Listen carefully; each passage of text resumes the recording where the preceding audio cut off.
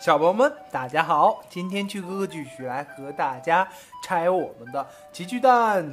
当然啦，又到了我们拆蛋时刻。今天呢，趣哥准备了两颗是我们《冰雪奇缘》的奇趣蛋。小朋友们，快看，我们的小雪人正在印在我们两颗奇趣蛋的上面，是不是非常可爱呢？一会儿呢，趣哥要带大家一起把这两颗蛋拆开，看看能得到什么样的玩具吧。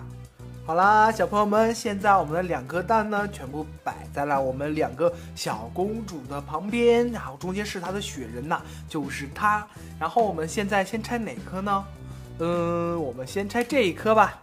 哈哈，就是你了。我们现在马上把它打开。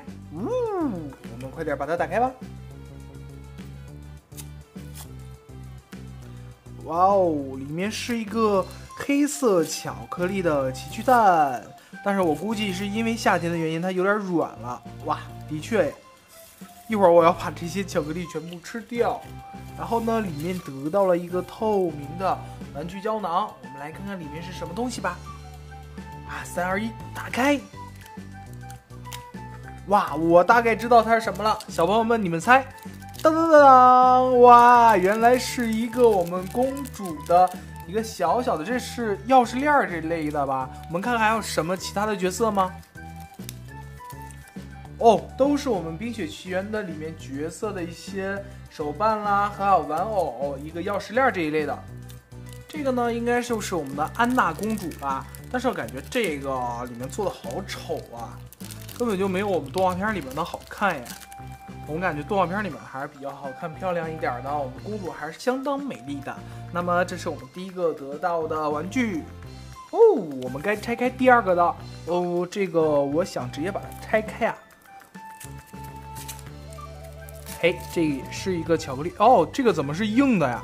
看来我们这两个巧克力还硬度还是不一样的。又是一个透明的蛋蛋，但是里面绝对不是和我们这种橡胶的钥匙链一样哦。哇，你们猜里面是谁？哇哦，原来是我们的神奇的小矮人的小玩具啊！这个呢是帮助我们安莎公主和安娜公主的那个小矮人，哇，超可爱啊！今天竟然得到了一个我们安娜公主的一个，还是以就是这是小时候的那个图案吧，就是小时候的一个小小的钥匙链。然后我们这个呢是我们小矮人的这个。手办这也不算手办，一个小玩偶，感觉还是挺不错的。今天得到了这两个玩具，我感觉还是挺满意的呀！哇，真的好开心啊！那么小朋友们，这期节目也就到这里了。下次旭哥还会继续分享更多有趣好玩的玩具。喜欢我们的视频，记得点击订阅按钮哦。我们下期再见，拜拜。